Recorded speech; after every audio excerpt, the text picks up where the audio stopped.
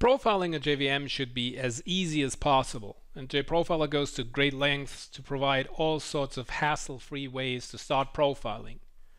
On the local machine, we've become used to simply selecting a JVM from a list of running JVMs and start profiling with a single click. Since JProfiler 10, it's possible to do the same thing for a JVM that's running on a remote machine.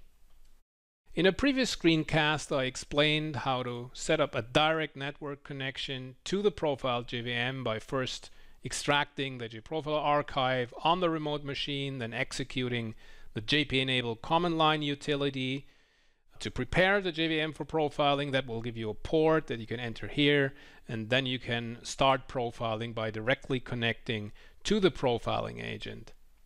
Starting with JProfiler 10, it's possible to avoid doing any of these things.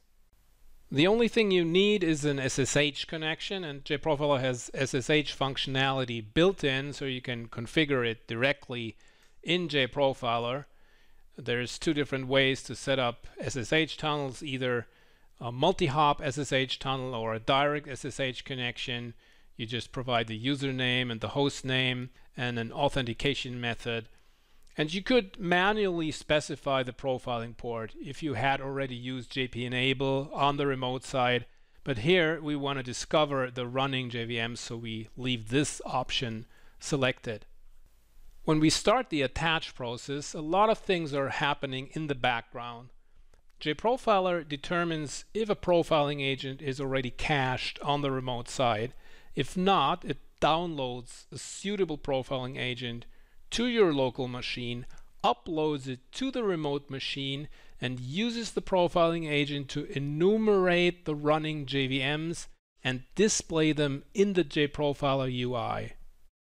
One thing that's important to understand about attach functionality is that you can only attach to a JVM that has been started as the same user, in this case as the SSH login user. And as you can see here, there are no such JVMs. And this helpful notice down here reminds us that the JVMs we are interested in may have been started by a different user.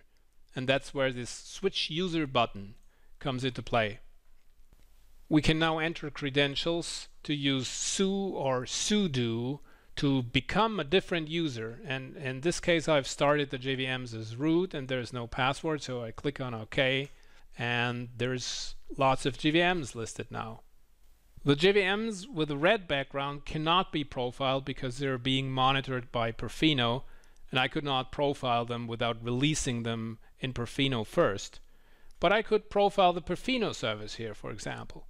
I now have two options. I could either take a low overhead heap dump that does not involve loading a profiling agent in the JVM. It uses the internal hprof mechanism, saves the hprof snapshot to disk, transfers it to your local machine, and opens it directly in JProfiler.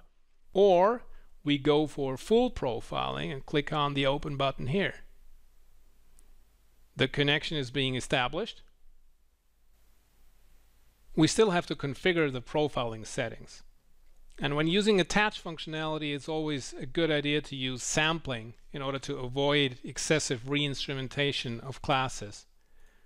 We accept all default settings in the session startup dialog and start the profiling session.